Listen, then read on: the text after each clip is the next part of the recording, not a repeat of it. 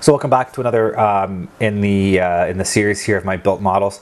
Um, if you watched the uh, the first video, you would have seen a bit of an intro, but I'm going to throw this intro onto every video so you guys know what you're looking at. And basically, I'm going to be going over all most of these models behind me. I completed before I had the YouTube channel started, so I'm going to be going through these uh, bit by bit, quick little five minute videos, uh, so you guys can take a look uh, at the videos I've built. I'll talk about the model, uh, what I some of the issues I had building it, how I, I liked or did not like that kit, and then some of the aftermarket if there is any type of resin or, or, or uh, aftermarket decals I used on the kit. And then at the very end, I'll throw up some pictures of the completed model so you guys can get a good view of what all these look like and what I went into. Because there has been some interest. I've heard from you guys that you do want to see some more of these. Uh, and not all of them are going to have full up build logs. So uh, you know, I can't do product reviews. I can't do anything on these ones that are built. So those are going to be included in these videos. So any of this series in this playlist, that's what it's going to be. So please don't come in here thinking you're going to get a full build log. Um, but uh, so yeah, stay tuned. I will eventually have all of these videos done and I'll have them all released. So uh, stay tuned. Um, and as always, my name is Sean. This is Sean's Aviation.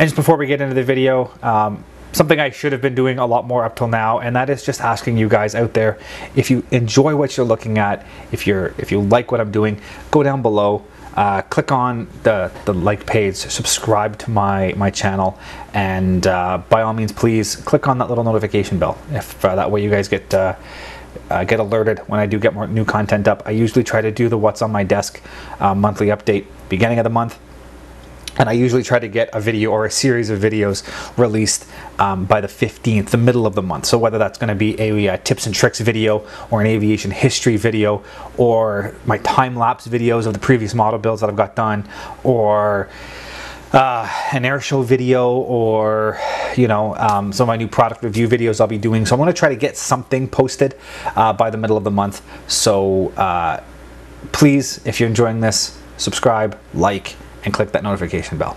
Let's move on to the video. So here we are back for another one of uh, the, uh, the boat model videos. This particular one, uh, I'm going to be doing a three-part uh, video series on my uh, Avenger builds, uh, my Grumman Avengers. Um, I have three of those, so this will be video one of three. And in this one I'll be talking about the probably um, what is the most commonly found Avenger for a, a, number of years now on the on the hobby shop shelves, and that is the um, the Italeri uh, TBF 1C, which is effectively a rebox of the old Accurate Miniatures kit, which for the longest time was easily one of the most um, accurate uh, Avengers on the market. Uh, and so this is my kit. This is my uh, my Italeri. Um,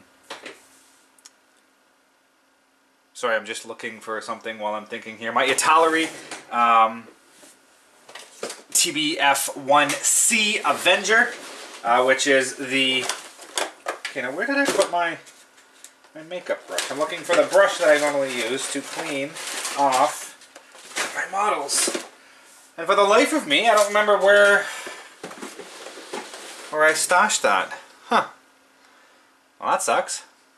Wanted to brush this off. It's a little little on the dirty, little on the dusty side here. Anyways, um, so yeah, the Italeri TBF1C, it is the early version of the, um, of the Avenger. Um, there's some minor things you can use to track the differences, the main one being um, along the front of the cowling. Uh, if it's got a short cowl flap, it's a, uh, a TBF uh, an early TBF Avenger. So just for nomenclature, a little bit of history. Uh, TBF uh, means it was built by Grumman. TB, torpedo bomber, F for Grumman, uh, and then 1 being the first um, first variation it built. So the TBF is the Grumman built version, and the early ones did have um, short um, cowl flaps. It only went down partially on the nose. Um, I'll just zoom in here a bit so you can see. It only had short little cowl flaps. It only covered the front half of the um, the nose, and then the later versions, including the TBM, which was built by Grumman, TB, uh, torpedo bomber M for Grumman. Uh, Navy had a really weird way of, of, of, labeling aircraft. Anyways, they had cowl flaps that continued all the way down. Just a quick, easy way to tell the difference between a Grumman built, oh sorry, an early and a late version of the Avenger. Um, as for telling the difference between a Grumman and a GE General Motors one, very, very difficult to uh, tell the difference. Uh, but uh, this is an early version one, uh, and it is classified as a TBF, which again, I don't really means anything in terms of final build. But anyways, I, uh, I've painted it up in the markings here. You can see of a, a Royal Navy uh, Tarpon, and, and that is the name that the British gave to the Avenger, the Tarpon. Um, the RAF slash the Royal Navy, they ended up doing their own naming system for a number of, of, of these uh, aircraft. Uh, for example, in the, in the Americans, uh, the, the Navy named uh, their aircraft, uh, but early Air Force aircraft didn't have names, and the British gave names to everything. Spitfire, the Hurricane, the, it was just a different way of naming things. So um, the, the U.S. Navy called it the Avenger uh, to avenge the attack on Pearl Harbor. The British called it the uh, Tarpon. Another example is the Wildcat. Uh, the British called them the... Um, oh, I just had it and I left it now. Uh, the... Wow. Martlet. There we go. The Martlet is what the Wildcat was initially called by the British. Later in the war, uh, the British actually named the Mustang, for example. They came up with the name for the Mustang. Uh, so then later in the war, the British started to adopt uh, the American names just to make things a little easier. So this is a, a British tarpon. It is in the usual uh, Royal Navy Atlantic scheme of dark slate gray and uh, ocean gray over sky. So it has the yellowy green sky color on the bottom. Um, I will have to do the research. I can't remember exactly what unit I, I did this up as. I'm 99% sure I did it up in the markings of a Canadian uh, squadron that flew these in the Atlantic uh, in the war. A few minor things I did on this that uh, made it a little different. Um, there is a seat in the middle here. The Americans did not have a seat in the middle. Uh, it was open. Uh, the British added the seat uh, to include the extra crew member. Other than that, this has been built uh, pretty much, actually I say that, but now that I look at it, um, the flaps are photo etch, and there is some photo etch in the cockpit. Um, some of the instrument panels and stuff are photo etched. So I did use a bit of photo etch on that. I used the resin seat uh, to put that in the middle. Um, I will put the markings, uh, if I have not yet, up on the screen so you guys can know exactly what unit this was done with. I'm, uh, again, 99% sure that I used um, Air decals for this um, to do the Canadian Avenger. It's very hard to find a British Avenger markings. Um, I, I, did leave the... Uh, oh, I have no idea what that is. I did leave the uh, the bomb bay empty. I didn't put anything in the bomb bay. Um, and as you can see, I did do a little bit of weathering on it uh, make it look like it's been used and dirty and whatnot out in the ocean. So yeah, very, very happy with that. It, uh, it went together really well. These Accurate Miniatures, they can be finicky in some places, um, but uh, at the end of the day, it does go together quite nicely. Lots and lots of detail in there. Uh, it turns out looking amazing. Um, very, very happy with uh, the quality of this build and how it turned out. It looks just, you don't usually see a... Oh, that would explain why that prop looked so funky. I did not have a... Uh, and I just keep breaking everything. Looks like I lost the uh, prop shaft. I'll have to make a new prop shaft and put it together. That won't take long. Anyways, um, you don't usually see Avengers in the the British scheme. You see a lot of the post-war uh, British scheme, and you see some from sort of the South Pacific where they were in the uh, in the um, overall dark blue scheme similar to the U.S. Navy paint schemes.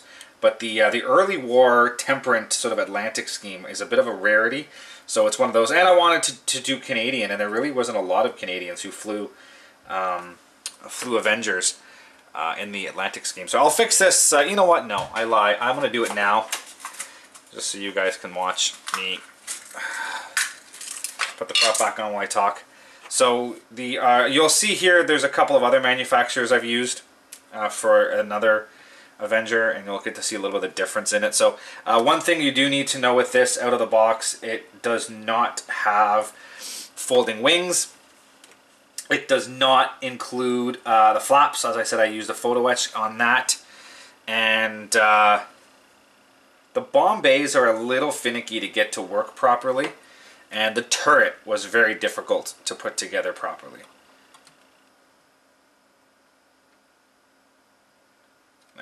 Uh, so they they were a little finicky, as I said, they are a bit of a finicky kit. Uh, so it does take a little bit of effort to get them to line up properly. So the turret was a bit of a, of a hassle. Um, the uh, the uh, um, bomb bays were a little bit of a hassle to get to fit right. Uh, the way that these uh, brackets on the ends and the way that you have to uh, cut and pinch the door to make it work. Uh, it has a little bit of a finickiness to it that I don't necessarily like. As I said, the flaps are aftermarket. The wings are non-posable. You can only build them with the wings out. Um, but other than that, good kit. Highly recommend it. Um, so that is my 148 scale Italeri, which is also a reboxed Accurate Miniatures TBF 1 Avenger painted up in the uh, Royal Navy Atlantic scheme.